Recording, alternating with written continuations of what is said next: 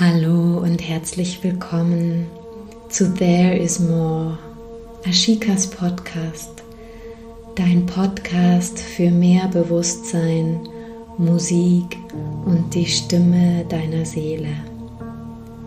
Heute beginnt der Podcast mal mit einem ganz anderen Hintergrundklang als gewohnt. Das liegt daran, dass heute das Thema ist gemeinsam singen für den Wandel. Und ich habe mir die wunderbare Clara Schiewek eingeladen, die auch mit dieser Absicht unterwegs ist, Menschen zusammenzubringen, um gemeinsam zu singen. Du erfährst in dieser Folge auch über ihr Projekt, den Chor des Wandels und auch über mein Chorprojekt One. Und ganz am Ende bekommst du hier dieses wunderbare Loslasslied, was du schon im Hintergrund hörst als Ganzes geschenkt zum Mitsingen. Freue dich also auf dieses Gespräch und den Song. Liebe Clara, so schön, dass du hier bist. Danke für deine Zeit, dass wir uns heute austauschen zu diesem Thema gemeinsam singen für den Wandel.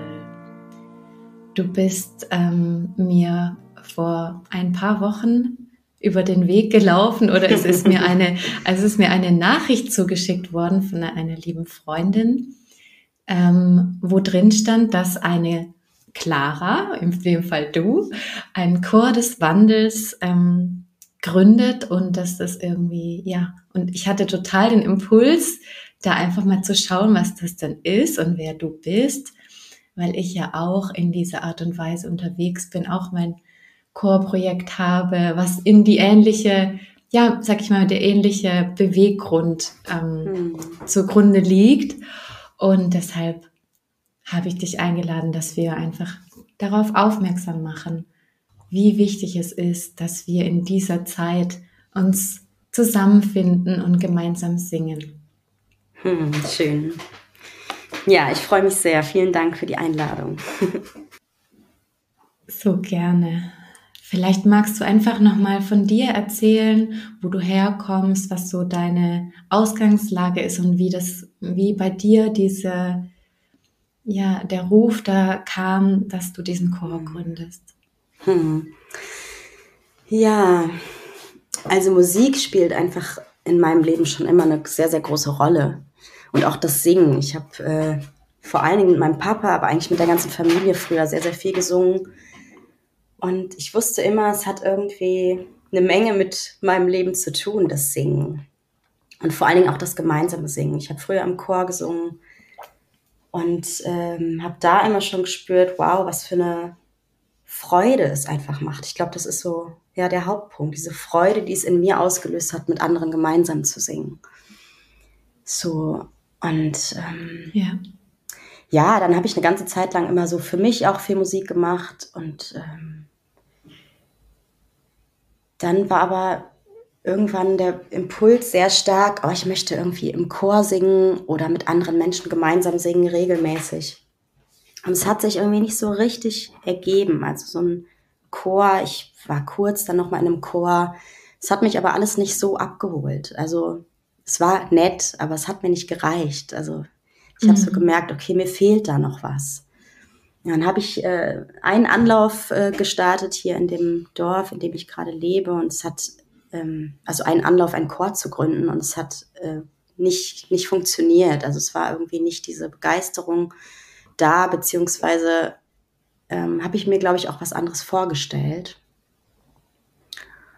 Und es ist auf jeden Fall nicht zustande gekommen. So. Und jetzt kam, ja, vor drei Wochen tatsächlich, ist dieser Ruf, ja, ich will mal sagen, vom Leben, ähm, oder ich bin vom Leben gerufen worden. Also es war wirklich ganz äh, spontan, dass diese Gruppe oder diesen Chor, den ich gegründet habe, dass der ins Leben gekommen ist, ähm, durch einen Impuls von einer äh, oder von ein paar Frauen, die in einer Gruppe, in der ich bin, in einer Telegram-Gruppe, ähm, geäußert wurde. Da wurde dieser Wunsch geäußert, ah, lass uns doch gemeinsam singen. Und ich hatte vorher in dieser Gruppe schon mal kurz diese Vision erwähnt, ich würde gerne einen Chor des Wandels gründen. Und dann kam, kamen wir darauf und ja, es war wirklich so, jetzt, jetzt ist es soweit. Und ich habe eben eine Telegram-Gruppe gegründet, Chor des Wandels, und habe zu dem Zeitpunkt gedacht, okay, ich, ähm, es kommen vielleicht einfach ein paar Menschen dazu und mal gucken, was draus wird, aber ich habe mir keine Vorstellung gemacht. Und dann wurde mir ziemlich schnell in den darauffolgenden Tagen klar, dass äh, das was sehr, sehr Großes sein soll. Also dass das Leben da was sehr Großes vorhat. Äh, es kamen einige Menschen dazu. Mittlerweile ähm, ist die Gruppe, sind das so über, also knapp über 200 Leute in dieser Gruppe und es sind so viele Menschen auf mich zugekommen, die die Kraft gespürt haben von dieser Gruppe oder von dieser Vision, einen Chor ins Leben zu rufen, der ähm, ja der, der neu ist, der anders ist als das, was wir bisher kennen.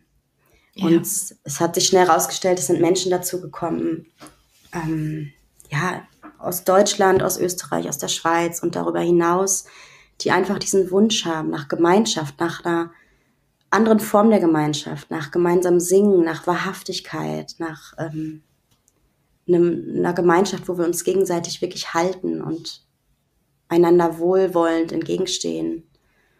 Und ähm, ja, das wächst gerade enorm schnell. Ich habe keine Ahnung, wo es hinführt. Und das habe ich auch, oder sage ich auch immer wieder, ich, ich spüre den Ruf, diesen Chor zu beleben, diesen Chor irgendwie in die Welt zu tragen. Was es ist, das ähm, weiß ich noch gar nicht, weil das zeigt sich im Prozess. Und das ist mir auch sehr wichtig, dass das einfach so wachsen darf, wie es wachsen will, dass sich das so entwickeln darf, wie es einfach will, von innen heraus. Ja. Genau. Du sprichst so was an, das ist, finde ich, auch so wichtig, dass wir uns neu, ich weiß nicht, nicht mehr genau, wie hast du es formuliert, aber das, was, dass wir uns neu begegnen, also dass eine neue Form von Miteinander mhm. singen, als das, was man früher kannte, was ein Chor ist oder was ein Kirchenchor ist mhm. ähm, oder was für Repertoire auch man gesungen hat in solchen mhm. ähm, Formationen, weil ganz viel war ja da auch sag ich mal, schwere Literatur, die man mm. vielleicht in solchen Chören gesungen hat. Und dass jetzt wirklich wir Gruppen sich formatieren, die, die eben aus einer ganz anderen inneren Überzeugung noch, mm. also noch dazu. Und das ist ja das, was das Ganze erst so vervollkommt, so empfinde ich das. Genau, ja weil Singen an sich, und das spürt ja jeder, es, es öffnet einfach das Herz, es bringt uns mhm. in die Freude, in die Lebensfreude, es verbindet uns miteinander. Und wenn wir dann noch schauen, dass die Botschaft dessen, was wir singen, eben übereinstimmt noch mit unserem Inneren und mit dem, was wir, wo wir hin möchten, wo, was unsere Vision ist, mhm. was kann dann alles entstehen? Genau, ja. Ja. Ja, das hat eine Riesenkraft. Ähm, und ich glaube, das ist so der wichtigste Punkt, dass es übereinstimmt, so wie du sagst, also dass es wahrhaftig ist. Ja. Denn Texte können noch so schön sein, wenn wir sie nicht spüren können, dann sind es einfach nur Texte. Aber ja. wenn wir sie fühlen und wenn sie von innen heraus, ähm, aus uns heraus äh, strömen, dann ist die Power einfach so, so groß. Dann, ja, das ist auch so das, das Herzstück äh, oder ja, das Wichtigste finde ich für mich auch in diesem Chor des Wandels, diese Wahrhaftigkeit, dieses Ja, wir singen aus uns heraus.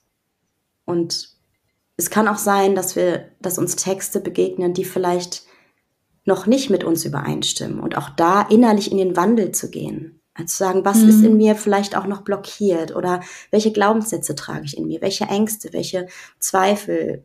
Also, dass wir auch damit da sein dürfen und ähm, da auch ein Wandel passiert, auch durch das gemeinsame Singen.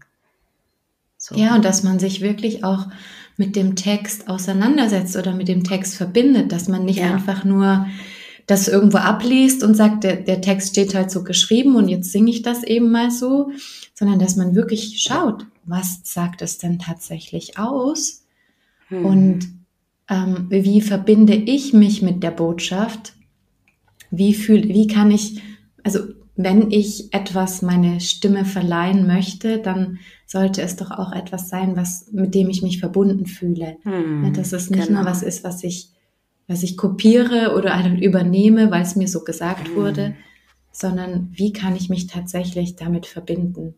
Und ja. wie du sagst, wenn du spürst, ich kann es noch gar nicht fühlen, mhm. dass man hm. dann einfach in sich hineinschauen darf und wahrnehmen, warum, welcher Widerstand mhm. zeigt sich. Genau. Ja. Hm. Hm. Ja. Du schreibst auch selber Lieder. Mhm. Wie, wie lange machst du das schon? Also mein erstes Lied habe ich mit 15 geschrieben, 14 oder 15. Mhm. Ähm, damals noch auf Englisch, weil ich dachte, Lieder werden halt auf Englisch geschrieben. Mhm. und ähm, ich habe dann relativ schnell gemerkt, okay, das, ähm, das geht irgendwie nicht. Ich kann, ich kriege die Nähe zum Text nicht, weil es nicht meine Muttersprache ist. So. Mhm. Und dann habe ich angefangen, ähm, ja, so mit 20 habe ich relativ viele, viele Lieder geschrieben. So. Ähm, ich habe viel verarbeitet, äh, über meine Geschichte ähm, geschrieben, über die Trennung meiner Eltern und also Dinge und habe gemerkt, okay, da war es wirklich ein Mittel für mich, um meine Erlebnisse zu verarbeiten, um sie nochmal irgendwie ja. So auf den Punkt zu bringen. Und tatsächlich, zum Beispiel mit der Trennung meiner Eltern, war es tatsächlich damals so, dass als ich das Lied geschrieben hatte und ich hatte es auch aufgenommen, da hatte ich das Gefühl, der Schmerz war durch. So. Mhm. Also es hat mir wirklich sehr geholfen. Und mh, mm, ich habe dann immer wieder Lieder geschrieben und jetzt mittlerweile hat sich aber ein bisschen verändert. Also klar, ne, die, die Lieder haben sich, haben sich stark verändert in, im Inhalt auch. Ähm, und jetzt würde ich eher sagen, ich empfange diese Lieder. Ich schreibe die ja. gar nicht unbedingt selber, sondern sie kommen einfach plötzlich, manchmal ist plötzlich ein Text da oder plötzlich eine Melodie da und ich schreibe es auf.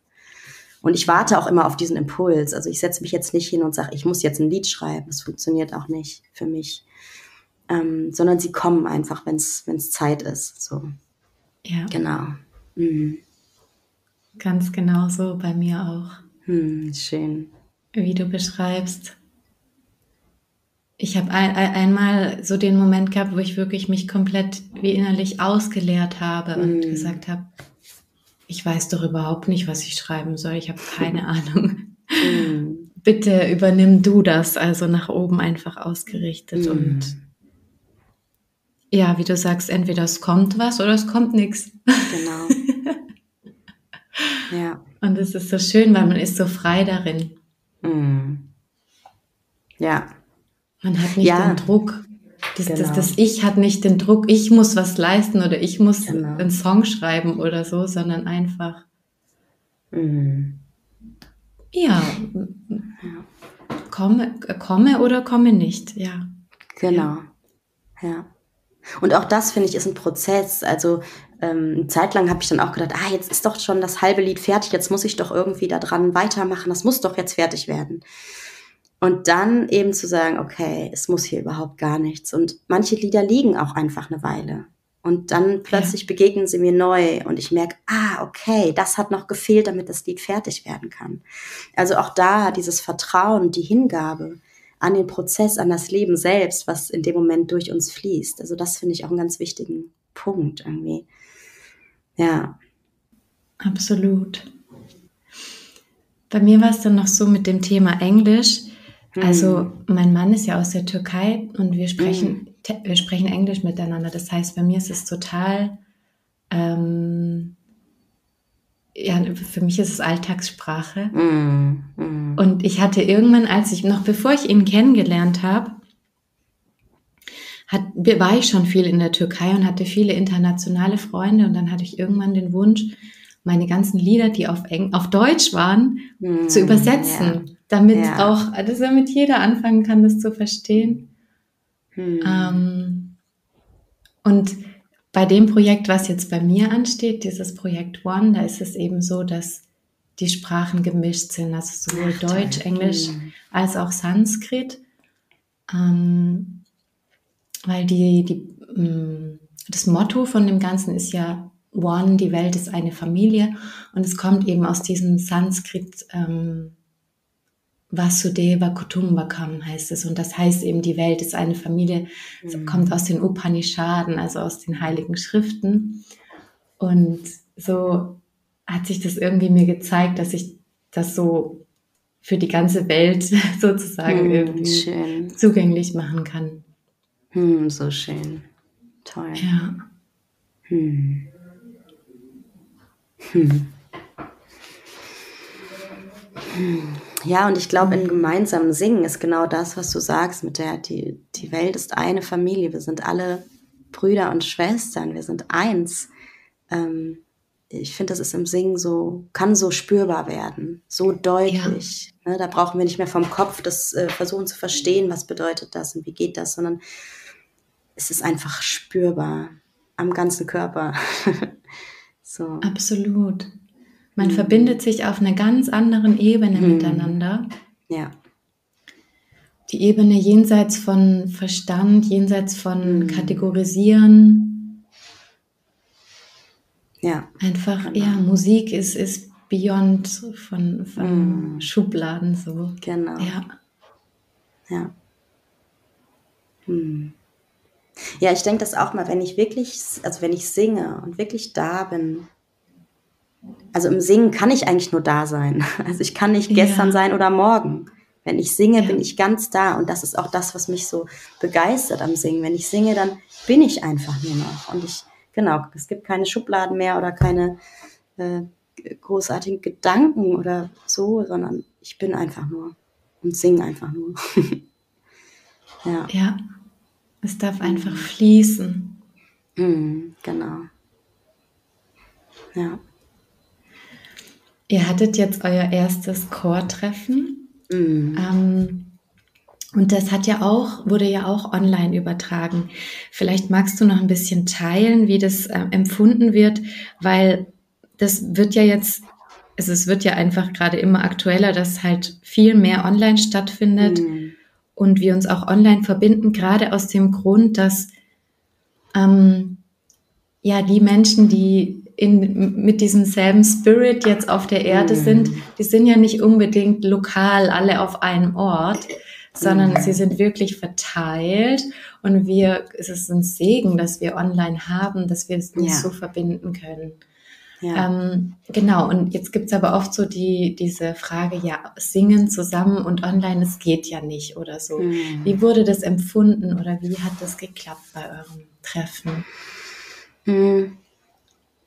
Also klar, für manche ist es sicherlich erstmal eine ähm, eine Schwierigkeit oder stellt erstmal so eine Herausforderung dar oder so ein Fragezeichen, wie soll das gehen? Und ähm, wir haben bei, dem, bei diesem Treffen, gab es ja die Kombination aus Menschen vor Ort und eben online. Und das finde ich eine schöne Kombination. Und das finde ich auch als, das empfinde ich als riesiges Geschenk, dass wir jetzt online Menschen eben dazu holen können. Mhm. Und dadurch, dass Leute vor Ort waren, gab es natürlich auch einen Klang. Also wenn wir singen, gibt es den Klang. Das heißt, die Menschen zu Hause vor dem Computer können sich ja mit dem Klang verbinden. Das heißt, sie können ihre Stimme mit reingeben und hören den Gesamtklang. Natürlich hören wir die Person nicht. Das ist natürlich äh, nicht möglich. So, wer weiß, was da noch kommt. Aber noch ähm, nicht vielleicht. Ne, ja. Genau, wer weiß, wie das weitergeht. Aber es ist, finde ich, trotzdem möglich, ähm, dass die Menschen zu Hause sich wirklich mit dem Klang verbinden und mir ist auch wichtig, wirklich ähm, immer wieder zu betonen, dass wir eine Gemeinschaft sind, egal wo wir sind und dass Verbindung keine Zeit, keine Zeit und keinen, keinen Raum kennt quasi. Ja, und dass wir mhm. uns auch da gut verbinden können. Also ich glaube, diese Kombination, die macht es ganz spannend irgendwie.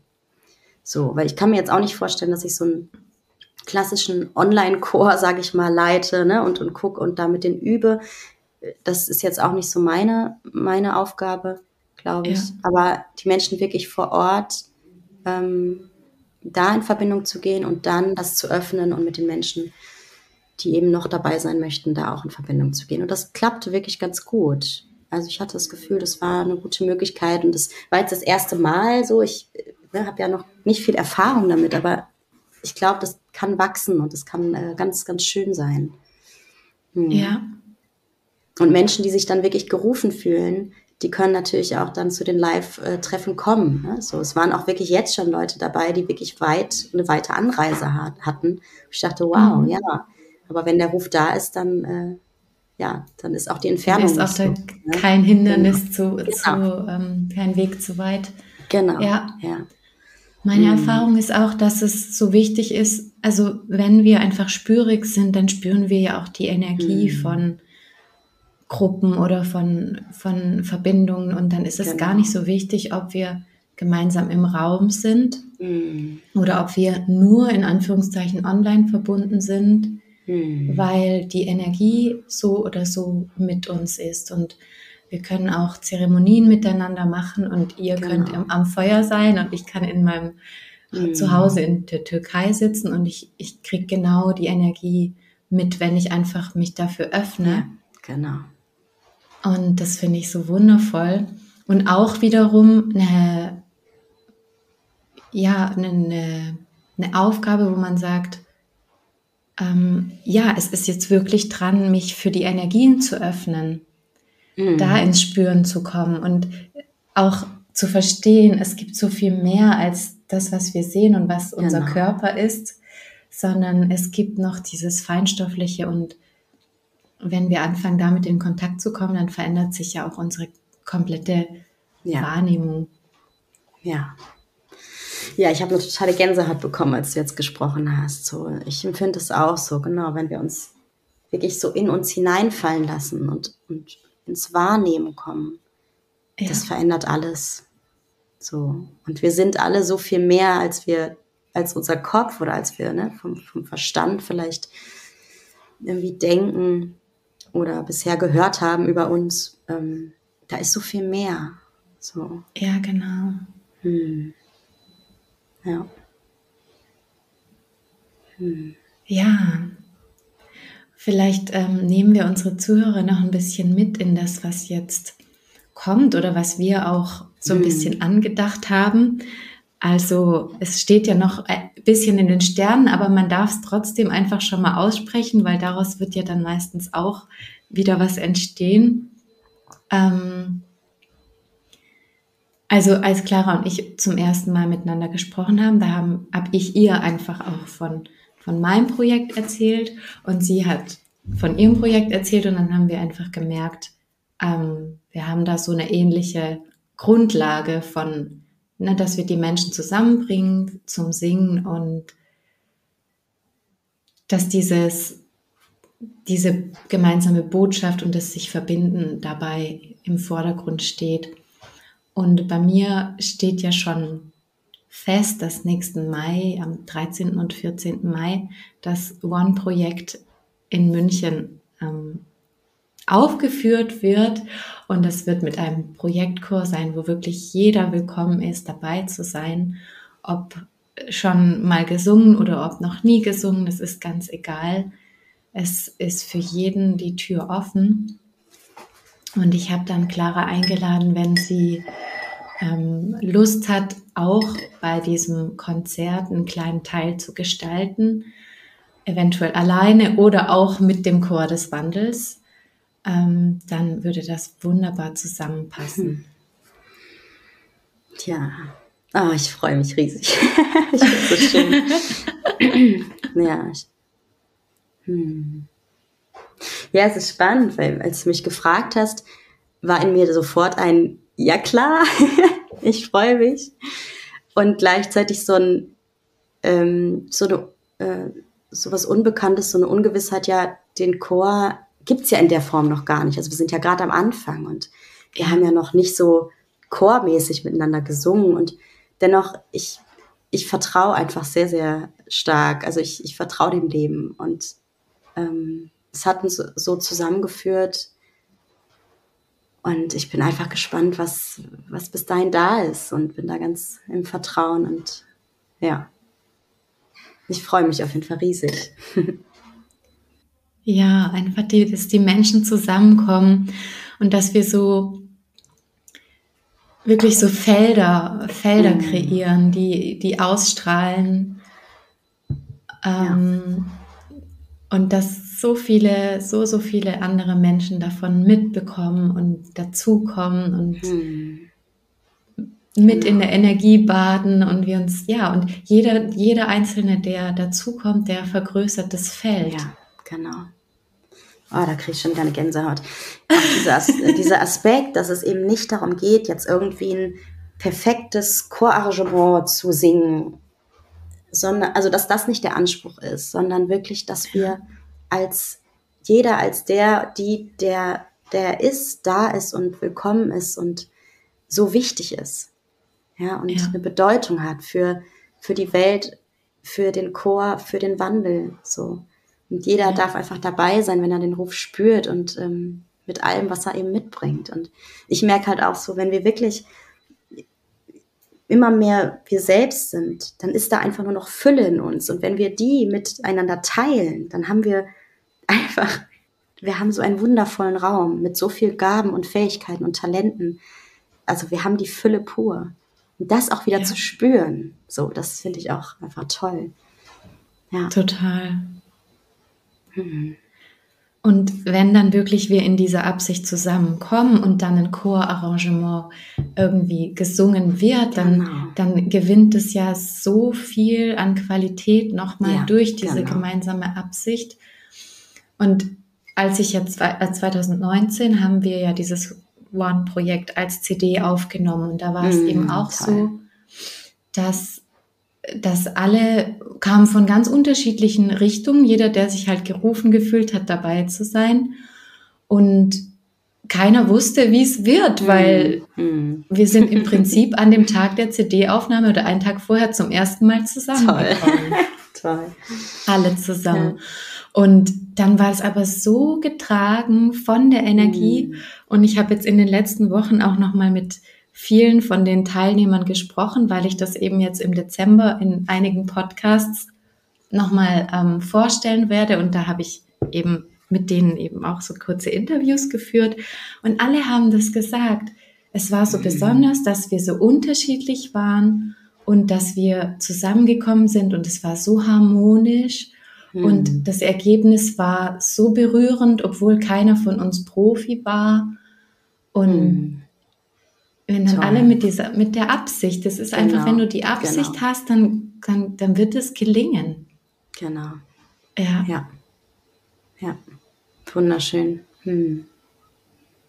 Ja. Hm.